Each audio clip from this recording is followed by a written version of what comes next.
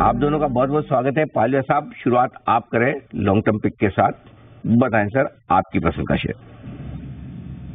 Good morning Anil ji good morning everyone so long term pick में जो stock पसंद आ रहा है वो है नोसिल स्टॉक में एक uh, अच्छा बेस बना है और ऑलमोस्ट अगर हम देखें तो पिछले uh, पाँच से सात महीनों का एक कंसोलिडेशन रेंज का ब्रेकआउट यहाँ पे वीकली मंथली चार्ट पे होते हुए दिखा uh, जिस तरीके से स्टॉक में अब यहाँ पे ब्रेकआउट बने हमें लगता है ये स्टॉक लॉन्ग टर्म के हिसाब से बाय किया जा सकता है। अपसाइड के टारगेट हमें लगता है इसमें जो आ सकते हैं करीब तीन सौ तीस रुपए से तीन सौ तक की अपसाइड इसमें लॉन्ग टर्म के हिसाब से आते हुए दिख सकती है। और छोटी मोटी डिप में इसको एक्यूमुलेट किया जा सकता है। डाउन साइड में जो स्टॉप लॉस रखना होगा वो करीब होगा टू थर्टी फाइव के आसपास। तो नोसिल पे बाय करने की सलाह है लॉन्ग टर्म के हिसाब से। नोसिल है वो स्टॉक्स जहाँ पर खरीदारी करने की राय लॉन्ग टर्म के लिहाज से। बताएँ सनी साहब आपकी long term pick good morning Anil ji good morning Deepanshu. सबसे पहले तो अनिल जी पाँच अवार्ड जीतने पर आपको दीपांशु को जी बिज़नेस की पूरी टीम को बहुत बहुत बधाइयाँ। जी प्योरली रिज़ल्ट ऑफ़ आपके हार्डवर्क और डेडिकेशन का। और Anil ji wish you all the very best and keep shining as always धन्यवाद सर शाइनिंग के मामले में तो हम आपका मुकाबला कभी कर ही नहीं पाएँगे। जितना शाइन आप करते हैं, उसका तो कमाल ही अलग है। लेकिन बिल्कुल आपकी शाइनिंग की वजह से और आपके प्रयासों की वजह से भी ये संभव हो पाया है। तो सर साहब, बहुत बहुत शुक्रिया आपका। अच्छा भाई द वे इससे याद आया। अरे पालिया साहब, मैं तो कल आपके शहर में था। और दो चीज़ें आपके शहर के बारे में बताना चाहता हूँ। एक तो ये कि जितना मैं सुनता हूँ इंदौर उससे ज़्यादा स्वच्छ और खूबसूरत यस सर ये तो सच है। उससे ज़्यादा है ज़्यादा। और जितना इंदौर के लोग मुझे प्यार करते थे पिछले बार तक उससे ज़्यादा। तो ये दोनों चीज़ों में बड़ा बदलाव हुआ है। तो पहले से ज़्यादा खूबसूरत भी है इंदौर और इंदौर के लोग भी पहले से ज़्यादा खूबसूरत हो चुके हैं। बहुत ही बढ़िया। हाँ। तो इसलिए आपको बहुत बहुत बधाई कॉम्प्लीमेंट अरे मतलब गजब का क्रेज है मतलब आप कहाँ मुंबई में हो? आपको तो इंदौर में ही होना चाहिए। तो अनिल जी बिल्कुल मुझे पता लगा था कि आपके दो इवेंट कल हुए हैं उसमें से कुछ फ़ोटो मुझे शेयर भी किए जिन्होंने आपके साथ सेल्फी की ली थी। तो बता रहे थे कि अनिल जी का सेशन काफ़ी वो रहा और उनके लिए काफ़ी नॉलेज उन्हें मिला आपके सेशन से। और बिल्कुल आपने बताया इंदौर दिन ब दिन खूबसूरत होते जा रहा है और हमें लगता है कि ये जो क्लीनेस्ट सिटी का जो एक बना हुआ है कंटिन्यूटी ये हमें लगता है कि इंदौर अभी और आगे आने वाले कुछ सालों तक और रख नहीं क्यों पड़े हो चक्कर में? कोई नहीं है टक्कर में।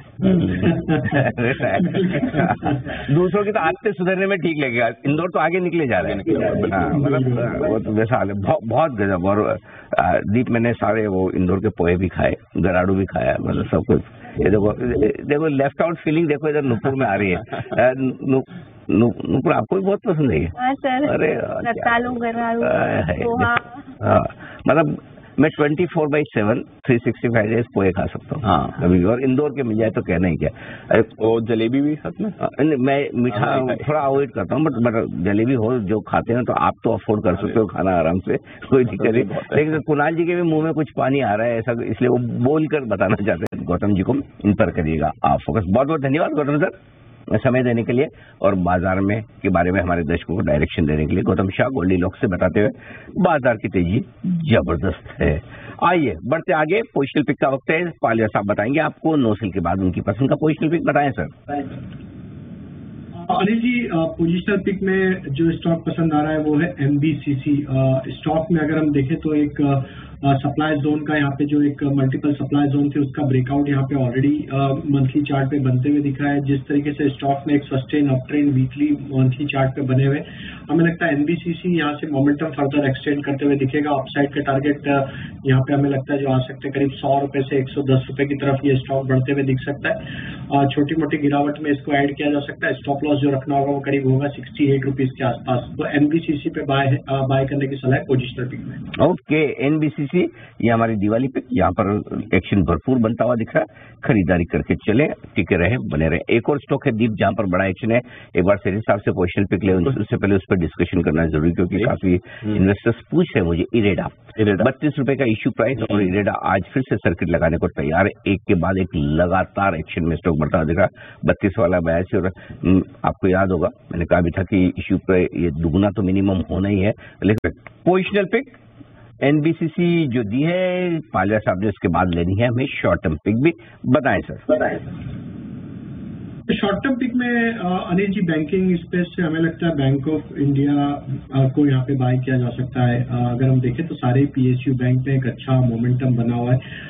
बैंक इंडिया में अगर हम देखें तो पिछले स्विंग हाई का ब्रेकआउट यहाँ पे ऑलरेडी होते हुए दिखा है और जिस तरीके से पूरे पीएसयू बैंक में एक अच्छा ट्रैक्शन है, हमें लगता है शॉर्ट टर्म में बैंक ऑफ़ इंडिया एक अच्छा मोमेंटम कंटिन्यू करते हुए दिख सकता है। 145 से लेके 155 तक के अपसाइड के टारगेट एक्सपेक्ट कर रहे हैं। स्टॉप लॉस जो रखना होगा वो करीब होगा। 108 के आसपास।